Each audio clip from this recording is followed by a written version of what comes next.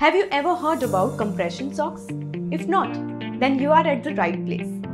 Compression socks are for everyone, no matter you sit all day, stand, or exercise.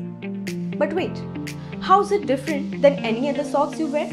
That's exactly in the name. These socks compress your veins and calf muscles to improve your blood circulation and increases the amount of blood your legs pump towards the heart to make your legs feel relieved and comfortable all day long. And who should be wearing these socks? So here are some points we need to consider to get the answer.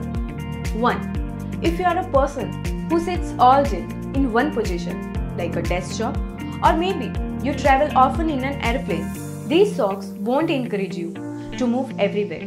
But what it does is, it makes long sitting comfortable. Second, if you are someone who stands all day long, you could be a teacher a public speaker.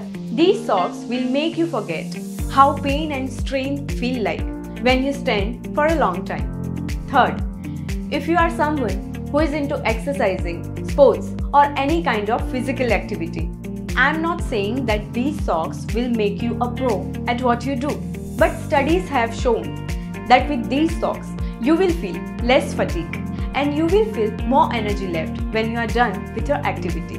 Wearing these socks regularly can have a huge impact on your overall health as calf muscles are known as the second heart. And you are helping your calf muscles to release the extra stress they go through in day to day lifestyle.